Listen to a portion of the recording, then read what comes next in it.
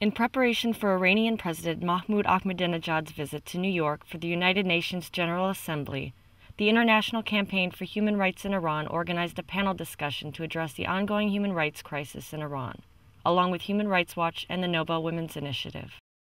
The issue is that we don't want Ahmadinejad come to town and the entire debate be framed by him and his handlers who will be setting the uh, setting the agenda or the terms of interviews such that he will only be asked about the nuclear issue, Holocaust, and the usual circus that he brings to town with him.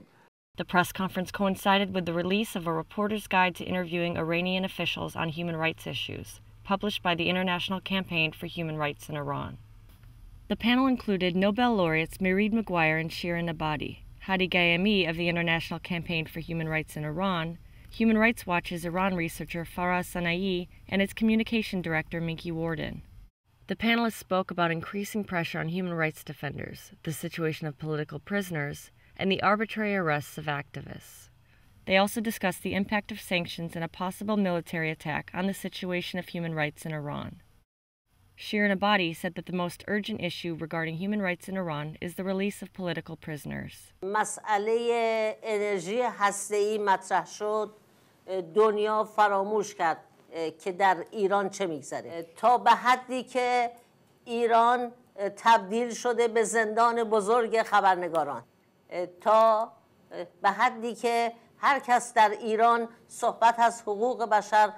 و دموکراسی می‌کنه متهم میشه به اینکه از غرب خصوصا آمریکا میلیاردها دلار پول گرفته. وکلای مدافع صرفا به خاطر دفاع از موکلینشون در دادگاه به زندان میفتند در اینجا یاد می‌برم خانم نسرین ستوده که بسیاری از متهمان سیاسی رو در ایران در دادگاه دفاع می‌کرد خانم ستوده صرفا به خاطر دفاع از موکلینش الان در زندان و تحت شدیدترین شکنجه هاست برای اینکه علیه خودش صحبت بکنه Abadi also said that the situation for prisoners, specifically in the area of health and nutrition, has gotten worse. She said that many of those who are released from prison, usually on very heavy bail, have to go directly to the hospital.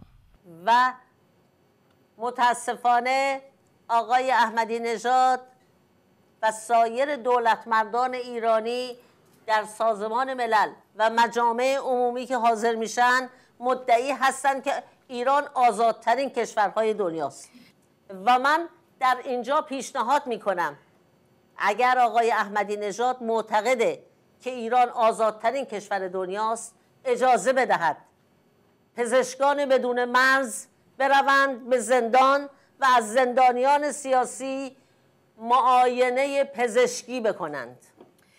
و من خواهشم از سازمان ملل متحد و نهادهای بین المللی و همچنین سران مم ممالکی که در گفتگو با ایران هستند آن است که به این مسئله اشاره کنند و مسئله حقوق بشر مانند انرژی هسته‌ای موضوع مذاکرات باشه Maguire, who was awarded the Nobel Peace Prize in 1976, also asked the nation states to put the issue of human rights in Iran on the top of their agenda. She criticized the use of executions and stoning in Iran. Now, this kind of um, punishment and cruelty is quite barbaric. I mean, it's just unbelievable that a government can accuse somebody of alleged adultery and then take them out, bury them up to their head in a sandpit, and then stone them to death. I mean, no matter who we are and no matter what part of the world, we have to say this is not acceptable in an allegedly civilized world. So we call for the abolition of the death penalty. The UN has called for governments who have the death penalty to have a moratorium on the death penalty. We call on Iran to uh, have a moratorium on the death penalty. We call on those who have been uh, accused of this uh, alleged crime of adultery to be released. The Iranian people are facing uh, a tremendous international and domestic crisis. Uh, since the disputed election of last June, the Iranian government has not hesitated from committing uh, the most atrocious crimes against its own citizens, ranging from uh, murder, torture, and rape of protesters to mass executions of uh, what uh, are said to be common criminals, but we have no information exactly who they are. And it is against that background that we're facing a nuclear standoff, uh, talk of military attack against Iran, and ongoing economic sanctions. Human Rights Watch researcher Faraz Sanei also said that his organization and other organizations such as Amnesty International and the International Campaign for Human Rights in Iran cannot send their researchers to Iran due to the government's restrictions. He said that human rights defenders are at risk. And these are individuals who are often at the forefront of the democracy movement and the call for change in Iran, and are often the first ones to be targeted. Reporters in the audience raised questions and shared concerns. BBC Persian reporter Bahman Kalbasi questioned the practical dynamics of bringing human rights issues to the forefront.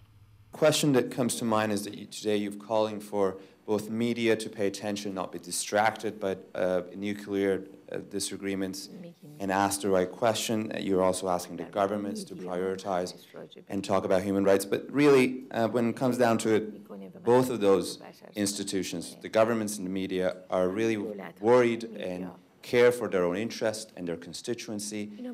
What actions are you taking, uh, concrete actions, in the week that is coming that Mr. Ahmadinejad is here that really brings that this issue to the forefront. But certainly what we're doing here right now is raising awareness, making arguments, and giving reason why in the upcoming week the focus of both governments and media should be on human rights.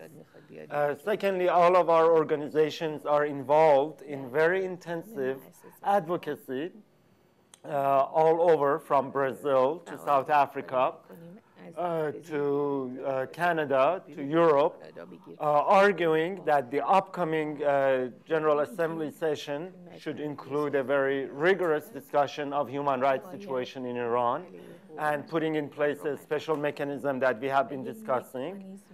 And uh, of course, by just disseminating information, raising awareness, and um, meeting with various governments, uh, all these organizations will continue to make this argument.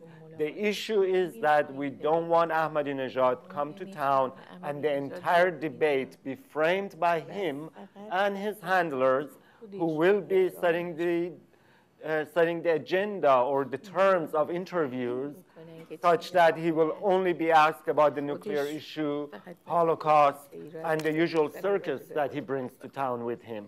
And we will continue to do what we're doing today throughout the week next week. Newsweek correspondent Maziar Bahari, who spent 118 days inside Evin prison after the 2009 elections, asked another question. The, uh, there are lots of talks here uh, I mean, all around the world about an imminent attack of the US or Israel to stop, to destroy, or to delay Iranian nuclear program. What do you think will happen to the human rights situation in Iran if such an attack happens? And the second question is that if Iran reaches a nuclear bomb, don't you think that it's going to give it confidence uh, in order to abuse human rights? من تصور نمی کنم آمریکا در شرایطی باشد که بتواند جنگ دیگری رو شروع کنه.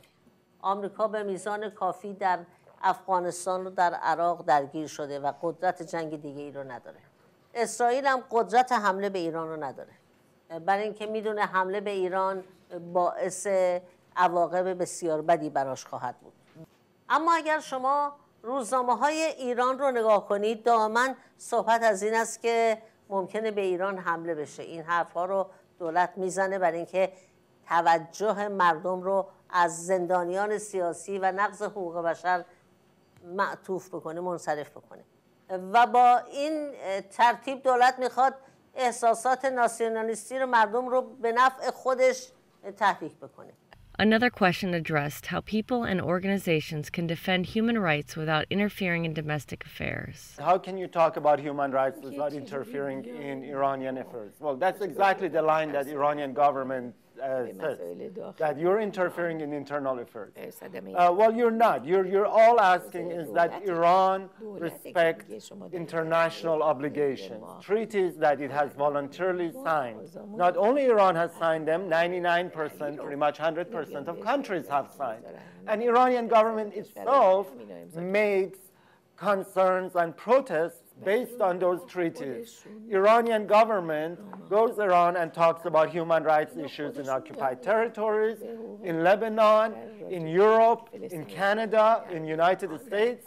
So they are accepting that there is an international norm where people have obligations, government have obligations, and they have to respect them. And all you're doing is asking them for their own obligation. Secondly, interacting with Iranian activists is not as dangerous as you may have said. It is true that Nasrin Sotoudeh is in jail, Ahmad Qabel is in jail, but they and many other people continue to speak out, to want the outside world to know. They want your organization to know about their plight and they want to provide information, and they're willing to put up with the dangers of it.